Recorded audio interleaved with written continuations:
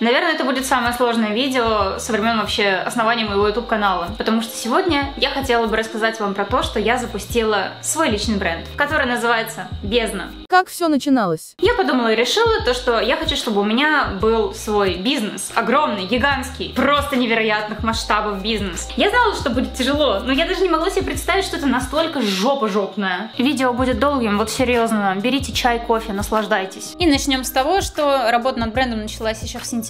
Что нужно любому бренду? Вообще любому, конечно же, ему нужно название, ему нужен логотип. Короче, рисовала я зарисовки, хотела передать вайб козла и лисы, потому что козел и лиса это супер, я люблю. И маскот должен был быть обязательно на меня очень похожим, то есть это должны быть отсылки к моему макияжу, отсылки к моей прическе, моя цветовая гамма, и чтобы этот персонаж полностью меня отражал. Возможно, вам тоже это напоминает не лису и козла. Я тоже так подумала. Франкенштейна видно свинины. Помогите. Нарисовала, короче, свои зарисовки и пишу моей подруге, которая, ну, профессиональный дизайнер, который разбирается в этом всем, что мне нужна ее помощь. 6 сентября. В общем, мы встретились добивать финальные эскизы персонажа. Пока что у нас все это выглядит так. Еще вот то, что я рисовала, мы придумали ему сердце, короче, которое будет скреплено булавками. Уж вы ее видели видео, когда мы распаковку это делали из Гарри Поттера. Вот она у нас занимается всеми этими графическими иллюстрированиями. Мы сидели, подбирали ему цвет, думали, какая у нас будет обводка, как будут располагаться стрелки. В конце концов, у нас получилось что-то такое, что вы можете наблюдать сейчас. На самом деле, по видео может сложиться, что это все было достаточно быстро сделано, но, если честно, мы потратили на все эти обсуждения, на все финализации, ну, наверное, где-то месяц точно, может быть, даже больше. А логотип, который вот так вот выглядит, вообще появился, наверное, где-то только в марте. Учитывая, сколько раз я поменяла стрижку, тут даже очень легко понять, что это действительно было создано относительно недавно. Нарисовала схематический лог, чтобы примерно понимать, как у нас тут все идет, потому что идет нот по этой линии. Да, котик, это ты маленький кот.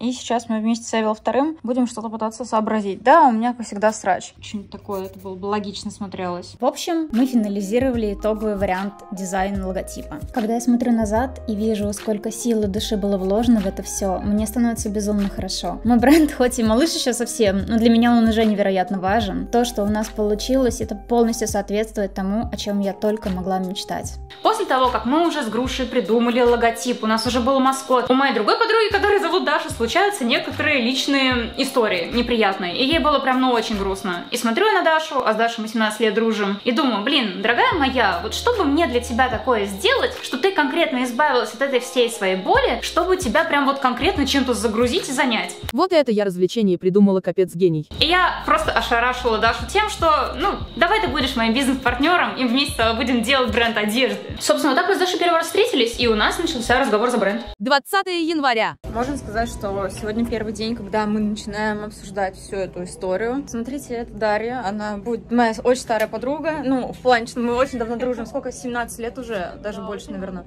И вот вместе с Дашей, потому что она буквально человек, который знает меня еще, когда я была совсем Little Small, мы решили начать работу над всеми этими проектами. Я буду стараться держать вас максимально в курсе, потому что я уверена, что все гладко у нас, конечно же, не получится, хотя мы очень, конечно, стремимся. Если это будет проект, в котором у меня все сложится классно из первого раза, я в это не поверю. Нет, такого не будет. Ну или будет? Будет? Будет, конечно. Все будет хорошо. Да. Ну ладно. Или нет? Ну просто так для понимания ситуации. Сегодня у нас 22 э, июня. Это похоже на издевательство. Ладно, смотрите влог дальше. Это уже база. На самом деле я хочу с вами поделиться вообще всей историей. Ибо были и взлеты, были и падения, можно было тысячу раз опустить руки. Но я сделала другой выбор. В бренде для меня важна была идеология. Не просто шмотка, а бренд, в котором есть моя личная история и смысл, который может быть кому-то не очевиден, но для своих он будет понятен, а это самое главное. Не просто очередная шмотка от блогера, а вещь, которая является отсылкой на путь. Мы все придумали, мы подали все заявления, мы все обговорили, мы распределили наши роли в этой работе, потому что все-таки это уже история не только про дружбу, но и про работу. Собственно, что нужно дальше?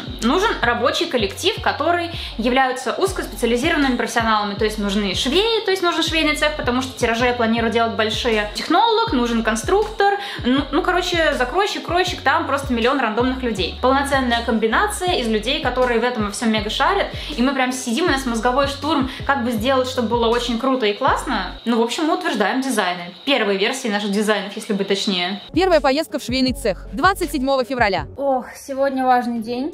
Сегодня мы едем к конструктору одежды, даже не знаю, как это правильно называется, чтобы согласовывать все то, что мы уже нарисовали, и чтобы понимать вообще, насколько это реально или нереально совместить с э, дизайном. На самом деле, меня немножко беспокоит тот факт, то, что мы реально придумывали там какую-то лютую штуку, и совершенно я не уверена в том, что эту лютую штуку можно будет повторить, но очень надеюсь. Сейчас собираюсь, еще немного приболела, это прям отстой, мне вообще нехорошо, у меня болит голова, у меня, знаете, тяжело мне говорить, у меня такое состояние, просто хочу вот полежать в горе мусора и стать частью этого мусора. Но, знаете, грязь сама себя не поест, как говорится, ешь грязь. И я думаю, что алды вспомнили, прослезились, посмотрели, ибо сейчас происходит на ваших экранах творение, которое я назвала «Ешь грязь». Да, это просто абсолютно легендарное в своей жести худи, и легендарное оно примерно во всем. И потом я подумала, решила, что раз я постоянно живу в каком-то сраче, что постоянно у меня какая-то грязь, то и увековечить эту потрясающую фразу нам тоже нужно. К этому мы еще вернемся. Я ужасно нервничаю. Я не могу даже собраться и просто тон на лицо нанести нанести. Я не могу, я полчаса сижу и смотрю на этот крем, и я просто не могу нанести его на лицо, потому что я такая...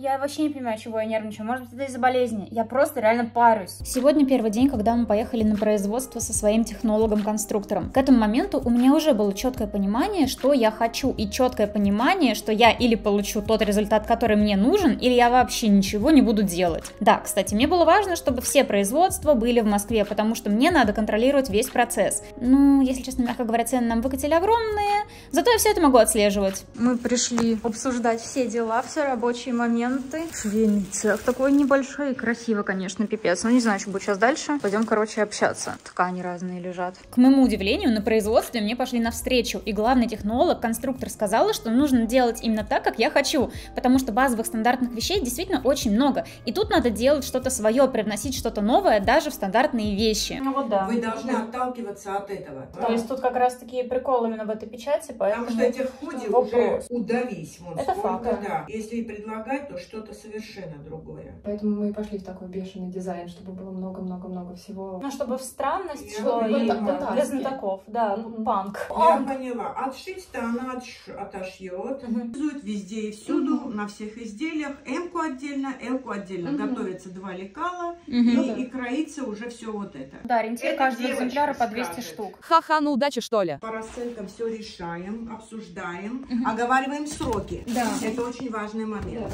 Я реально очень сильно боялась, что мне будут делать мозги, но по факту все прошло очень лампово. Ну что ж, едем дальше, выяснять все подробности, все детали. В принципе, все на данном этапе понятно. Я дала задачу разработать крой таким образом, чтобы был очень качественный оверсайз, который уникален тем, чтобы это была не стандартная история, когда, например, ты носишь s а покупаешь l и типа это выглядит как оверсайз, но по факту это халтура от производителей. И очень часто такие вещи не так хорошо сидят, как могли бы сидеть. А мне нужно было, чтобы все было круто, чтобы был тот же самый капюшон, который будет держать форму, не будет никуда бегать, прыгать, чтобы он классно сидел как на изделии, так и на своей башке. И материал, который будет неубиваемый, и принт, который не убьется, и все, чтобы форма держала. Короче, куча деталей, и все это нам впереди. Так что мы едем обсуждать дальше с другими производствами. Едем за тканью 4 марта. Сегодня мы едем забирать ткань. Это такой вот сегодня прям первый день, когда ты физически можешь пощупать то, что ты там наделал. Надеюсь, что все будет без осложнений. И сколько у нас получилось ткани? 500 тонн, да, типа? Ой, нет. Это, это какой же масштаб у меня должен быть на производстве, чтобы у меня 500 тонн ткани было? 770 килограмм на худи, 600, по-моему, на футболке. У меня.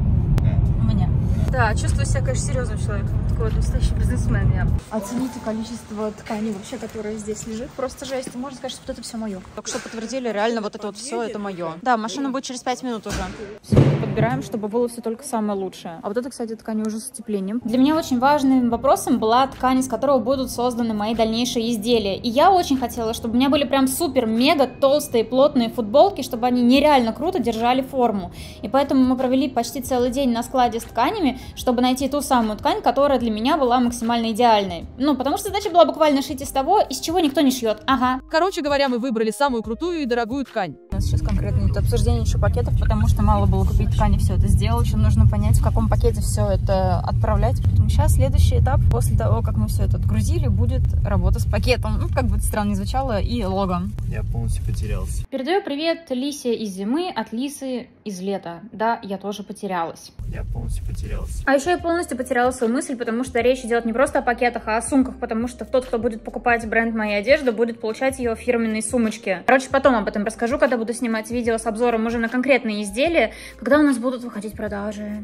Мы купили ткань, мы поехали в швейный цех, у нас уже есть конструкция, у нас уже есть первый макет, который классно выглядит. И, в общем, задача была только в том, чтобы дождаться, как нам пошьют первые изделия из уже этой конкретной ткани. 7 марта едем смотреть, что там нам нашили. Ну что ж, мы приехали сегодня. Вроде как смотреть впервые какие-то лекала макеты, то, что нам сделали. Проходим, смотрим. Сейчас еще приедет человек, который шарит за технику, за правильный пошив, вот за это все, который поможет контролировать производство, потому что у меня специальный человек, который работал, типа, знаете, с брендами на уровне Шанель, вот это вот все, который реально супер-мега шарит за качество. И для меня это самая важная, естественно, характеристика. Так, смотрите, давайте, вот да. худи надо будет вам одеть. И у нас начинаются первые трудности. Так, мне не нравится. Нет, мне не нравится. Во-первых, мне не нравится длина, как будто бы она слишком короткая. И у тебя еще при условии, что не супер высокий рост. То есть, типа, как бы ты высокая, но она на тебя смотрится, как будто она тебе малая. Это мне не нравится. Потом она как будто недостаточно объемная. Ну, как будто более облегающая, мне это вообще не нравится. При том, что, опять-таки, ну, это м и она тебе должна быть свободна, а она тебе как раз. Мне это не нравится. Так, нет, ну капюшон это просто безобразие. Это абсолютно, это вообще жесть. Просто у меня нет слов. Ну, короче, все отстой. Я очень рада, что с нами поехала наша технолог, потому что она действительно объясняла на производстве, что конкретно не так, что нужно изменить и почему нам эти вещи не нравятся. Потому что, конечно же, когда тебе подсунули не то, что ты заказывал, но никому не хочется переделывать свою работу,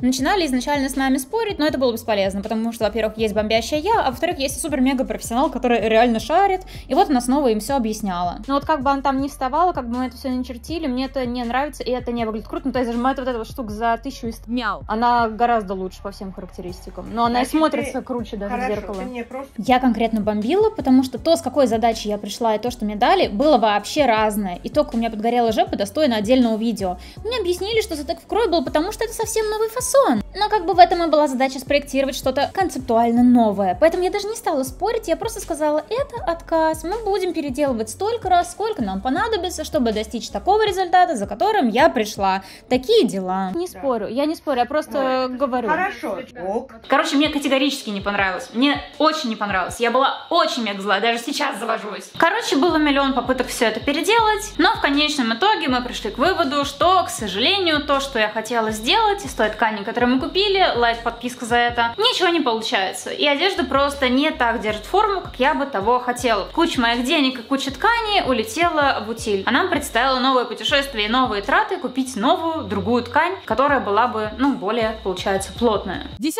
марта едем снова за тканью. Идем дальше. Снова смотреть хочется чего-то более плотного. Блин, так нехорошо. Просто отвратительно. Потрогай. Мы специально взяли с хангера, чтобы ты поняла плотность, пластику ткани, да, как она себя ведет, что это такое, вот оно. Так, ладно, мы забрали ткань, вот она там лежит. Вот там Даша сидит в рулоне, у нее есть мягкая подушка. Надеюсь, в этот раз без кринжа. Ну, короче, мы отвезли ткань на производство и поехали дальше. Ладно, день, когда мы будем проверять футболку. После того, как мы внесли правки и перешили ее. Я очень надеюсь, что все будет классно. В тот день мы получили наши первые футболки. Мне, честно, они реально понравились, потому что было все то, что я хотела. Форма, которая очень здорово сидит и держится. И в целом можно сказать, что я была как будто бы довольна. Мне как будто классно. Слушай, она тебе тоже небольшая. но Хорошо на тебе сидит. Ага. Да, рукава вообще классные, согласна. Наконец-то футболка утверждена. Ура, победа! А это я хочу посмотреть, а вот так вот выглядит лекала. Круто, круто. Спасибо большое. Спустя еще пару недель. Вот он последний день. Наконец-то сейчас будем, по идее, забирать финальную версию и поедем в принтовню. И там у нас будет еще больше проблем и вопросов, наверное. Здесь прям все отлично. И даже вот этот вот выглядит прям очень здорово, как я хотела, что шов в сочетании с разрезом, он прям очень классно. Все хорошо. Что вы скажете с точки зрения, ну, профессиональной? Потому что по мне вообще все здорово сидит. А так, да, она мне и по длине нравится, но вот с моим ростом, то, что я хотела как раз. Да. Капюшон прям, вот он, он, он стоит, классно, на нем прям какой-то принт еще будет размещен, то будет тоже здорово смотреться. И по посадке рук мне тоже все нравится. Единственное, что я вот хотела эту более штуку плотную сделать в любом случае, потому что она просто не, не фиксирует руку. А с точки зрения, я так понимаю, что технологии мы вам вообще, да, какую-то новую задачу выдали, да? Ну, не стандарт, можно так сказать. Нет, ткань, правда, ну, очень дорогая была в закупе, я точно сейчас цену не скажу, но что делать? Отдала денег я крайне немало за все эти истории, но для меня важно было, чтобы было реально качественно, потому что если бы я не хотела делать супер-мега качественно, не хотела бы запариваться, конечно, я бы просто пришла, знаете, заказала бы в Китае, там, не знаю, партию футболок, на них бы налепила самый дешманский какой-нибудь логотип под самым дешевым прессом, и все. Но нет, мы решили усложнить себе жизнь. Дальше нужно было понимать, где мы будем хранить вещи, оформлять офис, делать склад, кастомную, как угодно. Поэтому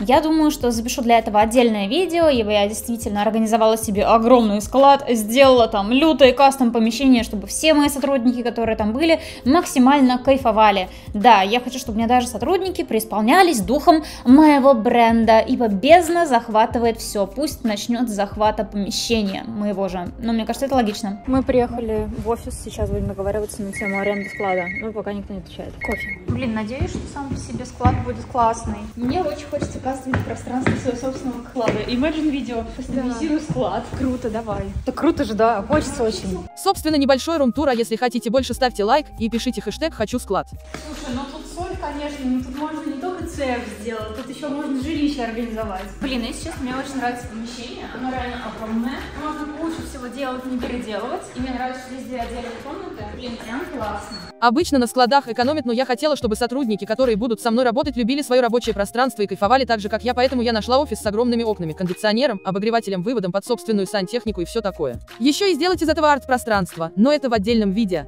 Спустя миллион сто тысяч лет у нас встает вопрос, что нам нужны принты. Соответственно, принтов бывает огромное количество разных видов. Далее нюансов очень много, это на 10 миллионов отдельных видео идет, если я буду вам рассказывать. Но для меня самое важное было то, чтобы принтовики тоже находились в Москве, тоже находились там, куда я могу до них доезжать и просто отслеживать каждый микропринт. И чтобы принты были такого качества, что он не отвалится, не стирается, не растянется. У меня было огромное количество одежды, причем, кстати, нифига не бюджетные от других русских брендов, где просто после одной или двух стирок принт он или начинал, знаете, вот так вот сдираться, или он начинал выцветать. И это была огромной проблемой найти классную принта классную принтовню. Но мы ее нашли. Мы очень сильно долго запаривались на тему принта, чтобы он реально был лютейший, потому что хочется гарантировать то, что у человека даже после 10-20 стирок, после, не знаю, того, как он пожмет вот эту вот штуку, ничего не отвалится. Спустя сколько-то там времени я уже хз. Приезжает первая партия. Я уже не знаю, на что я похожа, потому что от вот этого вот человека, мне кажется, в этих э, фрагментах видео от меня уже ничего не осталось. Ибо примерно все это время, примерно каждый день, каждый час я была на одейшем стрессе. Единственное, что спасало меня от того, чтобы окончательно не поехать кукушкой, я и так поехала, потому что у меня просто сорвался весь ритм, у меня выскочила, блин, аллергия еще на кота, которая жаловалась, теперь я все это, кстати, связываю.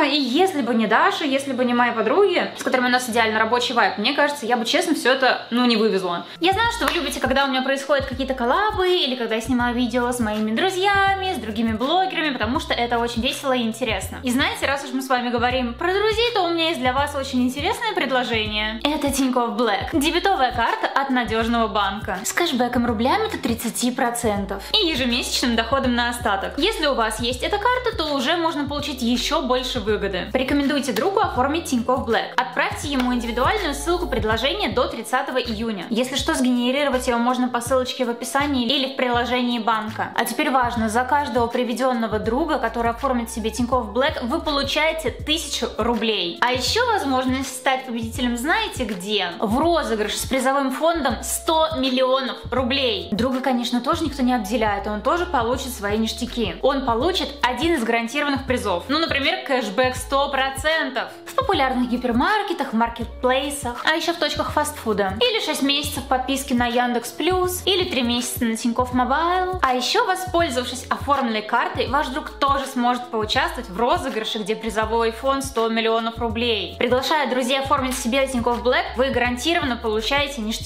А если у вас до сих пор нет карты Тинькофф Black, то обязательно пройдите по ссылочке, которая у меня в описании, и оформите ее по этой ссылке. Продолжаем. Ну, в общем, что случается, когда я получаю первую пошитую одежду? У меня сегодня просто не день, а какая-то жесть, потому что я всю ночь не спала, ибо у меня была ночная репетиция. И сейчас мне пришел курьер, который привез мне мою одежду. Привез он мне вот в таком виде. В целом, мне очень нравится, конечно, подача. Я вот думаю, зачем я запарилась вообще над дизайном того, как будет оформлена упаковка а, бренда, если можно просто всем вот так вот отправлять. Пошел момент истины. Достаем. Если бы вы знали, как я сейчас нервничаю, вы бы, ну, вы не заплакали, вы просто преисполнились. А учитывая, что я вообще не спала, я надеюсь, что все будет славно.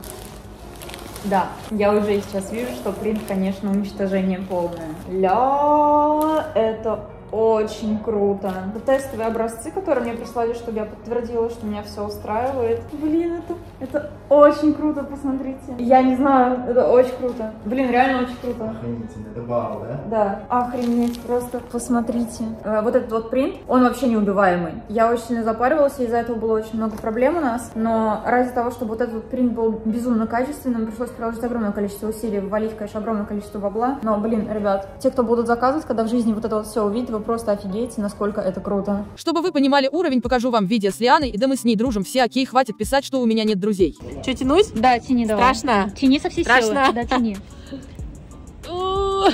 Я думаю, все понятно, да? Офигеть, офигеть, он такой же, какой был. Я такого не Искали, видела мы когда еще. искали принт, где мы будем делать, вот, ну, на тесте нам чувак приходит и такой говорит, вот вам наши принты, ну, нет одежда, а другая, типа, тяните Ага. как угодно. Да не, ну, типа, стрёмно тянуть, Он такой, да Да. нет, тяните как угодно. И мы начинаем просто с Дашей тянуть вот так вот в обе стороны, одежда прям растягивается чуть ли не в тонкую волосинку, и он потом собирается обратно, и принту ничего. И он такой, мы за свой принт, типа, отвечаем. Я такая, окей, нам подходит. Продолжаем смотреть первую партию.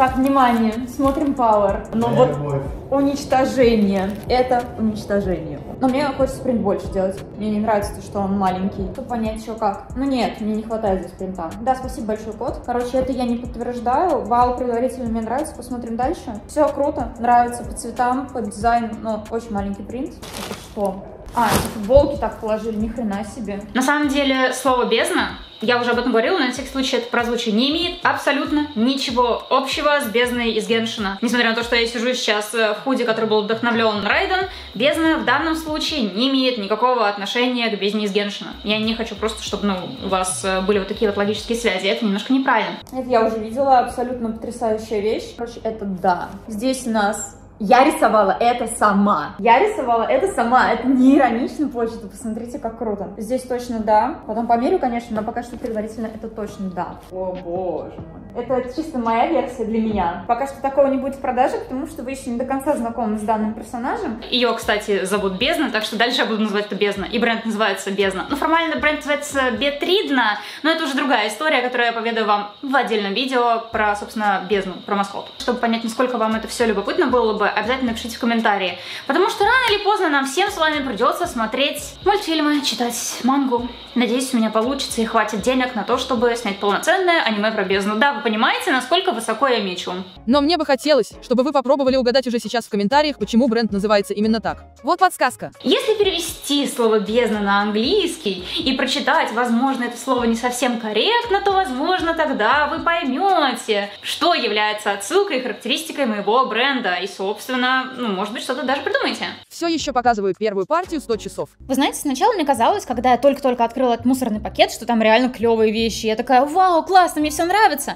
А потом с каждой секундой я понимала, что вещи-то не такие прикольные, что там очень много косяков, и что мне очень многие детали не нравятся, что мне не нравится, как выглядят некоторые цвета в реальной жизни, что в некоторых моментах мне не нравится масштабирование рисунка, и как-то я подгорала, подгорала, и в итоге я конкретно подгорела. Короче, в итоге я всю ночь сидела над одеждой и поняла, что мне ничего не нравится. Буквально мое состояние после вчерашнего. Эвел, ты настолько сильно меня чувствуешь, да? И на самом деле все то, что я вам показала в начале на первый взгляд, было как будто бы норм, кроме некоторых деталей, но потом, когда я стала смотреть все близко, я увидела вот это. Огромное количество дефектов, огромное количество моментов, которые почему-то, ну, просто не исправили, потому что очень много косяков. В общем-то, в принципе, когда я померила потом уже плотнее одежду, которая должна была быть, типа, вдохновленная дедом, мне вообще не понравилось, как смотрится в жизни, мне не понравилось, как смотрятся цвета, мне вообще не понравилось. Просто не понравилось. Я не хочу это никуда выкладывать, я не хочу, чтобы люди тратили на это деньги, потому что это откровенно отстой. Я просто не понимаю, почему вот эти цвета так сильно отвратительно смотрятся в жизни. Оно правда смотрелось симпатично, когда это было на листе принта. Я понимаю, что все вкусы разные, и кому-то действительно может это понравиться. Если кому-то понравится, возможно, это когда-нибудь продам выставлю на аукцион. Я не знаю, как первые изделия, которые не вошли в тираж. Я практически всю ночь опять не спала. Вчера у меня была ночная репетиция, сегодня у меня просто были нервы, потому что я думала, что с этим совсем сделать. И я подумала и решила, что, наверное, мы откажемся от деда полностью, просто потому что, ну,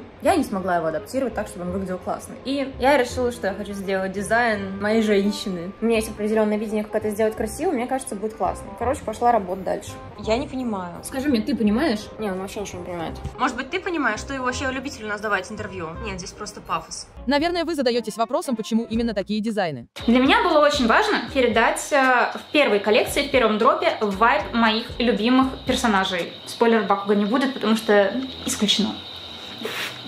Я слишком сильно его люблю. Я не хотела просто брать, знаете, фреймы там из манги, или просто брать уже готовых персонажей, их отрисовывать, потому что такого уже много, этого можно найти и на Алике, и у нас в магазинах, и вообще уже даже какие-то крупные бренды все это делают, серии берут там кого-нибудь распечатать, это неинтересно. Мне хотелось взять персонажа, ну в данном случае, например, на мне тут худак Сёгун, да, это который был вдохновлен Райден. Мне хотелось взять персонажа, мне хотелось разобрать его, грубо говоря, на атомы, понять его составляющие, его цветовую палитру, чем персонаж отвлекается, какие у него там, ну, грубо говоря, если мы говорим э, про ген, какие спецэффекты вылетают, чтобы все это скомбинировать в одежду и просто наполнить ее вайбом персонажа, чтобы те, кто не шарят, вообще не шарят, они просто это видели какую-то прикольную, интересную одежду, а те, кто шарят, им было очень интересно разглядывать каждую деталь. Что касается конкретно Сёгуна, э, вот это вот символ, возможно, вы думаете, что это, собственно, ее личное, но нет. Это, например, символ отсылка бога грома, оригинальному японскому мифологическому богу грома. И куча здесь деталей, которые являются отсылками не только, получается, уже даже к Райдену, а вообще в целом к истории. И это так круто, потому что я очень люблю пасхалки. И мне хотелось, чтобы в моем бренде одежды, именно когда мы говорим за графический дизайн, было очень много отсылок. Или, например, возможно, сейчас тоже вот вы видели на мне очень часто одежду, которая была вдохновлена Макима из бензопилы. Там у нас присутствуют цепи, там у нас присутствуют фразы типа контроль, там присутствует э, арт в виде ее рук, которые она делает, когда вот контролирует. И мне очень важно было именно перенести вайп, но так, чтобы это никого не напрягало, чтобы ты просто,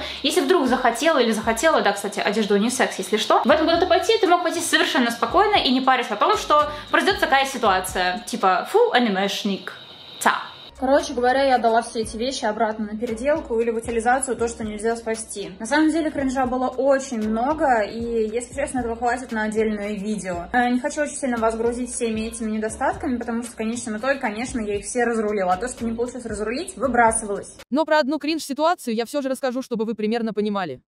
Помните, я снимала разговорное видео, где я готовлюсь на день рождения к подруге, и сама меня плачет. Знаете почему? Потому что я не смогла поехать на день рождения к подруге. А время съемки этого видео просто случилась очередная херня на складе, на производстве. Надо было ехать отсматривать, что за хрень там случилось. Ну и, собственно, я поехала. И время сейчас вот 0.42. И я только вернулась домой, я не, не смогла поехать на ДР. Одной подруги я не смогла поехать на ДР. Блогерша, которая меня позвала за пару дней до этого, просто потому что у меня целыми днями вот такая вот хрень происходит. Я просто целыми днями сижу, отслеживаю производство, и я просто надеюсь, что когда я куплю все свои вложения, если я их куплю, а мне хочется верить, что все случится хорошо, я просто куплю специальные свои швейные автоматы, самые лучшие, самые дорогие, самые крутые, которые будут, поставлю своих швей, и просто это будут мои люди, которые будут получать нормальную зарплату, у которых будут хорошие условия труда, потому что иначе быть в моем случае не может, и которые реально будут делать нормально, потому что это просто, это при исполнении. Мне все говорили, что а, начинать бренд одежды это сюра, хорошо, что я послушала людей и сделала старт с футболок с худаков, потому что если бы я, например, сделала бы жакеты, какие я изначально хотела делать жакеты в первую очередь, потому что я больше всего люблю, ну, жакеты, пиджаки,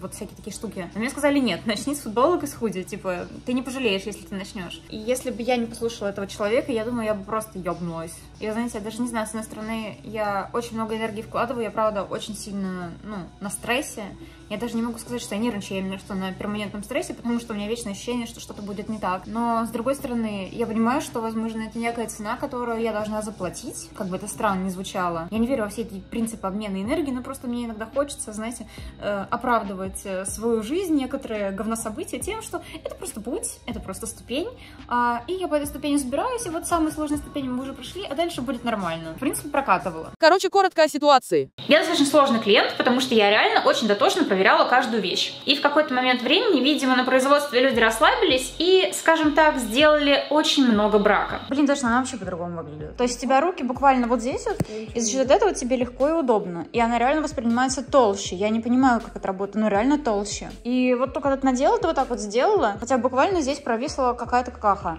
А так ты делаешь, ну, типа, все прекрасно выглядит. У меня паника, а это день, когда мы уже должны были задумываться на тему продажи, то есть мы буквально тоже были финальные штуки. Короче, у нас есть изделия, ну, естественно, они есть, которые выполнены идеально, и здесь все сходится, то есть буквально так, как должно быть, и поэтому они будут смотреться нормально. Задача теперь реально состоит в том, чтобы проверить это все, все плохие экземпляры, которые хотя бы на миллиметр отличаются нахрен, а те, которые не отличаются, их оставить. Доброе утро, что называется. Я не представляю, сколько мы здесь будем торчать, это жесть. Но мы будем отслеживать абсолютно каждое изделие, потому что, ну, мне вот такая вот история, что у кого-то будет вот так, вообще не устраивает ни разу. Пошли все нахер. Короче говоря, нам пошили половину одежды по старым макетам, и все вещи выглядели по-разному и хорошо, что мы это заметили. Но, честно говоря, от косяков других людей мне не легче.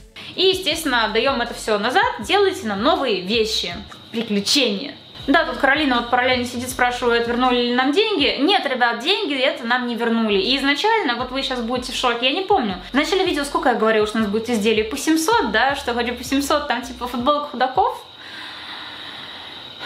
Я просто не хочу даже говорить, сколько их будет на самом деле. Ну, но я молчу про то, что я попала на бабло. Я понимаю, что ничего страшного, это первый шаг, это окей. Но, короче, некоторых изделий будет по 30 штук вместо 700.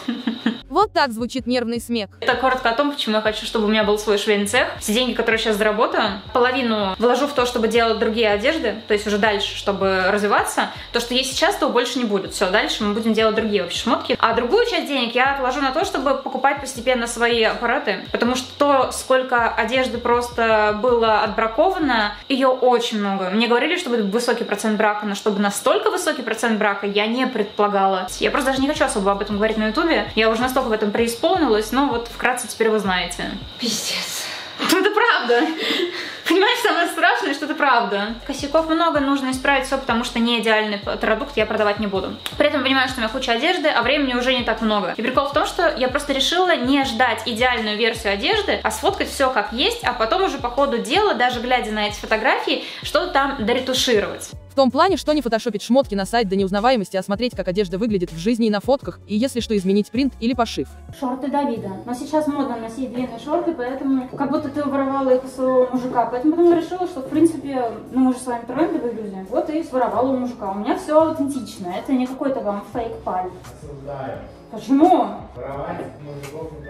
Собственно, так и проходит съемка. Абсолютно каждого видео. Вот смотрите, какая большая камера. Давид купил специально, чтобы меня фоткать. Сколько на камеру потрачено было денег? Наверное, весь бюджет моего бренда, да, туда ушел. Вот, да, вот так вот мы и работаем. Давид меня фоткает, я фоткаюсь, потом я ретуширую. Шорты топовые, конечно. Но где достала, не скажу. Мы все-таки мой бренд рекламируем, а не какие-то шорты. Сейчас я буду приступать к редактированию фоток, которые я уже сделала. Естественно, в качестве модели выступала я сама в своей собственной одежде в образе под макем. Надеюсь, получились нормальные фотографии, потому что для меня это самый первый опыт сейчас будет именно в том, чтобы обрабатывать, обрабатывать фотки, которые пойдут на продажу. Очень странное ощущение. Я, конечно, смертельно устала, но какая-то очень приятная усталость, потому что у меня такое ощущение, что я делаю какое-то очень большое, очень благое дело. Не знаю, почему так мне кажется. Ох, на самом деле сейчас очень тяжело отобрать фотографии, потому что вопрос не в том, как я на них получаюсь, а вопрос в том, как хорошо получается одежда. Например, все ли в фокусе, четко ли виден принт, что написано. И на самом деле такой интересный experience. Я обработала несколько фотографий, если честно, я достаточно сильно устала, потому что, знаете, очень тяжело, потому что ты чувствуешь великую ответственность, ты хочешь сделать все идеально, и ты не работаешь на кого-то, ты работаешь сам на себя. И, естественно, сам на себя, когда ты что-то делаешь, ты делаешь это максимально идеально, вне зависимости от того, сколько времени у тебя уйдет на ретушь, там, то же самое одной фотографии, потому что я хочу, чтобы выглядело прям славно, чтобы люди видели, что это действительно вот так и есть, что это славно. Ой, ну что скажешь, полный харакири. Ладно, пойду поем грязь, пойду посплю. Примерно каждый день я занимаюсь вот этим. Я редактирую фотки. Если честно, я уже схожу с ума. Я понимаю, что это только один персонаж, одна одежда, а у меня как бы их будет суммарно 9. Жесть. Зато можно оценить, какой у меня тут прекрасный вайбс. Сейчас я занимаюсь тем, что делаю вот такие вот карточки для сайта, и я просто в ужасе. Честно, люди, которые занимаются вот этими вот карточками, которые занимаются вот этими вот съемками, да, потом все это переносят, ретушируют, то сейчас загружают, честно, вы мои новые краши, абсолютно преклоняюсь, потому что это очень сложно. Я, конечно, понимаю, что я человек без опыта, я первый раз в жизни своей такое делаю, но это очень сложно, вот серьезно. Я сижу, наверное, вот над одним единственным худи, над одним единственным худи часов с 15. Сейчас как бы время 22.01. И чувствую, я буду еще сидеть очень долго. Но чтобы сделать такую фотографию на сайт, она должна выглядеть красиво, там не должно быть лишних теней, там не должно быть никаких маленьких складок. А сфотографировать живую вещь, не нарисовать ее просто мега идеально ровной, чтобы вот, знаете, не было ни одной складки. Даже если оно вот так вот ровно лежит, оно на фотке, вообще все равно но ровно мне кажется, я просто задолбалась. И это при условии, что у меня реально есть опыт работы в фотошопе. Ну, короче, я хз, это жесть полная.